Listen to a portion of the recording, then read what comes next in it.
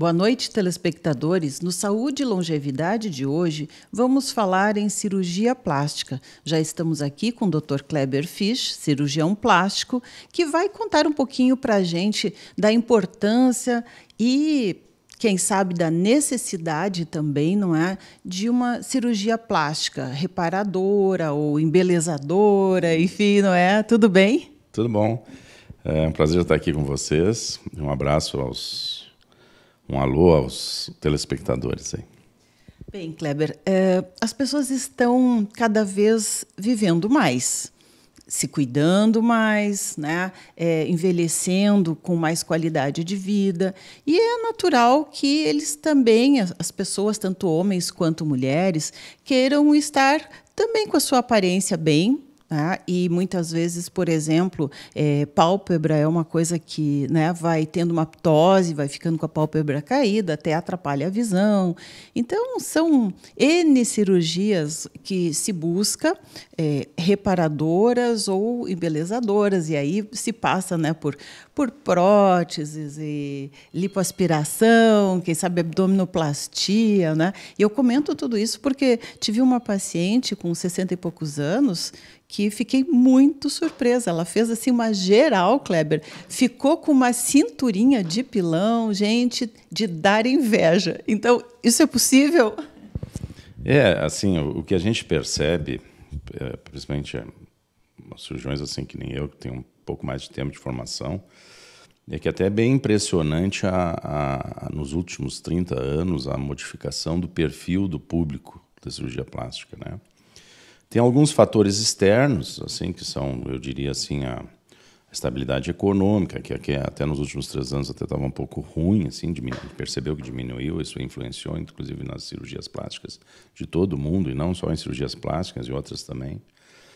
Uh, mas agora que a economia parece estar se retomando, o pessoal está tá reativando. E uma das coisas que mudou, que são externas, justamente é a longevidade e a maior procura por um alto bem-estar.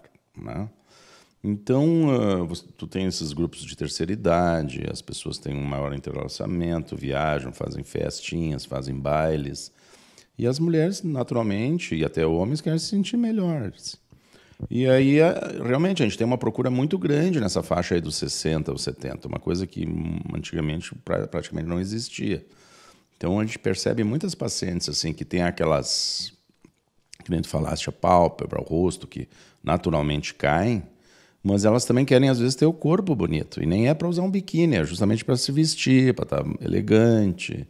Né? Até porque numa paciente dessa idade, tu não vai conseguir um resultado não vai querer transformar ela numa guriazinha de 15 anos, né? Que isso aí, às vezes, a gente também tem que trabalhar um pouco a cabeça do paciente, porque alguns, algumas pessoas uh, têm essa falsa impressão, assim, que tudo é possível na cirurgia plástica. E o outro lado que eu vejo também que tem uma modificação muito grande é o nível de exigência dos próprios pacientes, assim, né? Eu acho que isso tem uma influência da mídia, de revistas, até às vezes talvez de propagandas enganosas, né? Que a gente não, os cirurgiões, em geral, são controlados. A gente não pode fazer propaganda mentirosa no, na, na televisão, no jornal, seja onde for. Mas outros produtos não. Então tu vê assim cremes miraculosos, produtos miraculosos, e as pessoas imaginam que tu vai fazer uma cirurgia plástica e também vai ser um milagre, né? E não é bem assim. Então é, a coisa é um pouco complicada, já entra um pouco para o lado psicológico. Então hoje o cirurgião plástico ele às vezes até passa um pouco por indelicado, por, por um pouco rude, mas é que ele tem que é, tentar colocar na cabeça da paciente a limitação das, dos procedimentos. Né? Isso hoje faz é uma coisa que eu percebo assim que a gente aumentou hoje o tempo com isso, tanto na consulta quanto no pós-operatório, em que antigamente as pessoas não tinham esse nível de exigência tão grande. Né? Só que ele é bom porque a paciente está a par, discute contigo o assunto. É ruim quando ela não consegue entender ou aceitar certas limitações que a idade dela tem, que o tipo de pele dela tem, que a, que a cirurgia tem. Né? Então, isso realmente é, é, é uma coisa que até no consultório a gente percebe e, e dá margem para isso. É isso aí que tu falaste. Às vezes a gente opera uma paciente de 60 anos, não teve filhos ou teve só um filho, sempre se cuidou, tem uma pele boa, tu às vezes quase deixa ela com 15 anos. É, né? Pelo menos aquela cinturinha, porque é. o que acontece é que, e as mulheres se queixam muito, e não são só elas, mas que vão ficando quadradas. Há uma redistribuição de gordura né, que vai se concentrando na região do abdômen, do tórax, e a, a cintura se vai. Mas dá para dar uma melhorada, né, Kleber? Melhor do que estava, acho que sempre dá para ficar, não é? É, eu vou te dizer o seguinte, assim, tu fazendo uma cirurgia plástica, realizando uma cirurgia plástica num ambiente seguro, com um cirurgião plástico, né? Porque isso é uma outra situação. Hoje a gente tem algumas invasões na nossa área, né? Uh, eu sempre digo assim, o médico ele tem que ter uma boa formação e para ter uma boa formação ele tem que participar de determinados cursos e fazer determinadas provas. No momento que esse médico se afasta disso, ele até pode realizar uma cirurgia, mas certamente tu vai ter pessoas aí muito habilidosas que vão fazer uma boa cirurgia e às vezes pessoas que não são tão habilidosas assim. Então isso eu sempre digo, procure sempre um cirurgião plástico. Né?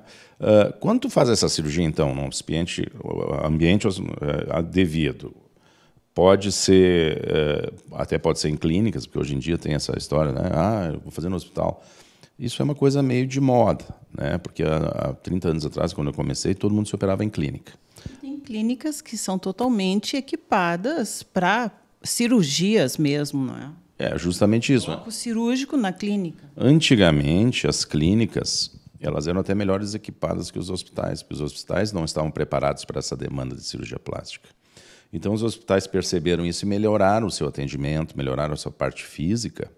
E com os custos e com a legislação que está cada vez, isso não é só na área da medicina, em tudo aqui no Brasil, né?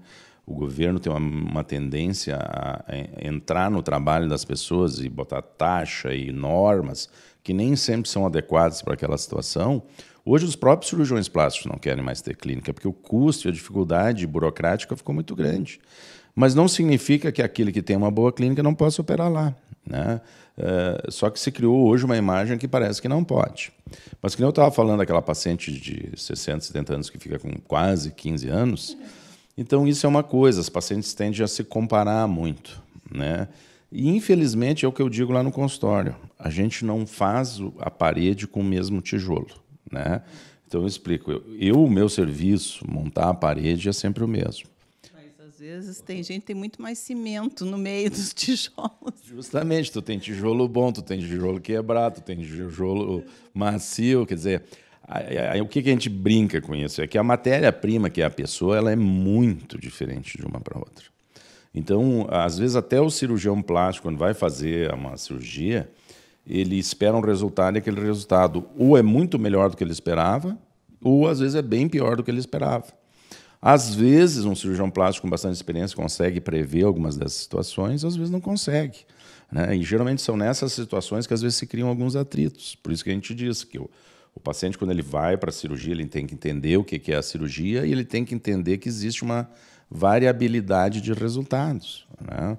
Uh, e ah, com essa exigência hoje visual e com essa farto uh, acesso a dados, e muitos dados às vezes fictícios, né? Porque o pessoal olha, ah, mas a Beltrana, mas essas pessoas às vezes que são artistas, coisas tá, são tudo foto, é, photoshopadas, né? Tem photoshopping ali com, com Photoshop com uh, alteração, emagrece a pessoa, tira manchinhas, né?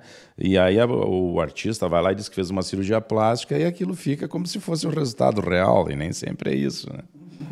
Pois é, e a gente fica por aí procurando milagroso, né? Mas na verdade os milagres estão ali atrás das câmeras.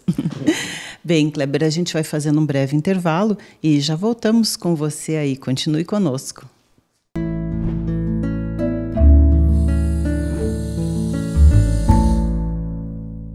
Estamos de volta e continuamos a conversar com o Dr. Kleber Fisch, cirurgião plástico, que neste bloco vai nos falar um pouquinho sobre a questão do pré e do pós-operatório, das coisas que são importantes.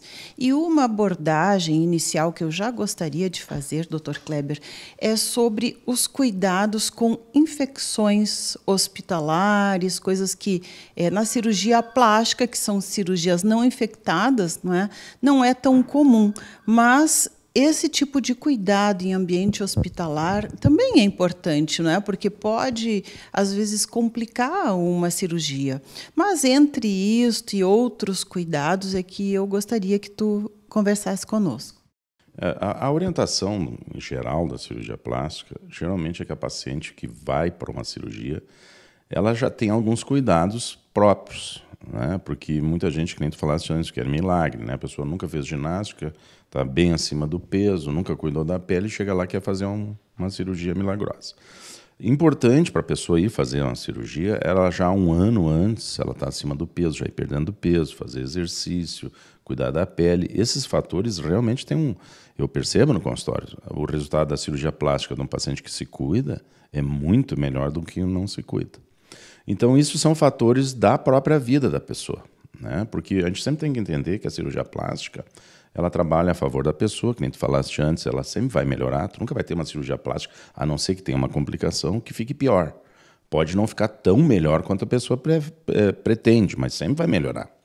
Né? Então, o, o, só que a gente percebe, eu percebo isso no consultório, que as pacientes que se cuidam, e às vezes até depois da cirurgia, as pacientes chegam lá, não faziam ginástica, não faziam nada, não se cuidavam, fazem a cirurgia, aquilo dá uma injeção de ânimo, começam a se cuidar e a, o resultado realmente fica melhor. Então, essa parte pessoal é uma coisa importante. Uh, do ponto de vista de infecção, de outras complicações, que são o que a gente chama de complicação de exposição, porque hoje em dia, uh, na cirurgia plástica especificamente, dificilmente a pessoa vai ter um, um acidente muito grave, porque a gente trabalha em superfície, a gente não trabalha perto de órgãos importantes. Difícil tu ter uma, uma lesão assim que a pessoa vai ter uma, um, uma fatalidade. Mas tu tem o que a gente chama de risco de exposição, que é justamente o que tu falaste, ir lá, se expor ao ambiente hospitalar. Né? A gente sempre diz, no hospital a gente tem todo o cuidado, os hospitais aqui da nossa região, em geral os hospitais, assim, a gente não tem nenhuma notícia de algum hospital que tenha um péssimo cuidado. Né? Os hospitais têm um cuidado, uh, porque eles têm uma responsabilidade com a infecção. E é importante aí a gente salientar que a infecção hospitalar, ela geralmente acontece até o terceiro dia. Mas a gente também tem o que a gente chama de infecção domiciliar, que é uma coisa que a gente orienta lá no consultório com as pacientes, que assim tem muita, muitas pessoas têm animais em casa. Os animais, eles têm uma, uma flora bacteriana peculiar deles e que se a pessoa tem muito contato, dorme na cama, está sempre pegando no colo, a gente pede assim para uns os primeiros 10 dias a se afastar um pouco desse convívio, que esses, esses germes que no seu dia a dia não tem problema, num contato maior, num pós-operatório, pode, pode, a pessoa pode pegar uma infecção domiciliar, que a gente chama. Ela pegou uma infecção em casa. Essa infecção é pelo quinto, sexto, até décimo dia eu já tive. Então, eh, tu, a, o que, que a pessoa está fazendo aí? Ela está favorecendo um ambiente que não é ideal para ela. Né? Claro, tem mais as asepsias, as orientações de banho, todos esses cuidados, né? Pois é, essa questão do banho, porque é, muitas vezes na cirurgia plástica tem que deixar aquele micropore, não mexe, as pessoas pensam, será que eu posso tomar banho? Posso molhar? Não posso molhar? Fico com um certo receio, né? Como é que é essa questão do banho? É, ela varia um pouco de médico para médico, cada um tem uma, né? Mas a gente justamente usa o micropore, porque o micropore é aquele esparadrapo de papel que fica bem colado na pele, e ele é um auxiliar dos pontos. Ele faz a gente ter uma cicatriz mais bonita. Então, eu tenho uma rotina assim de 5 a 10 dias, não que a pessoa não possa tomar banho, mas evitar de molhar aqueles micropores, porque se tu começar a molhar ele muito, o problema não é molhar, o problema é que ele vai começar a se soltar e de repente não vai ajudar tanto a ter uma cicatriz boa. Né? Então, por isso que a gente pede assim, é, uns mais, uns menos, para ficar um tempo sem molhar a cicatriz. Né? Claro, tu tem situações que a gente restringe o banho, mas não é por causa do curativo, é por causa da movimentação da paciente. Então, o banho sempre é benéfico, mas às vezes o fato de tu ir tomar banho e te movimentar, que é, é maléfico para a cirurgia. Né? Então, cada cirurgia tem os seus tempos e cada médico também tem algumas orientações.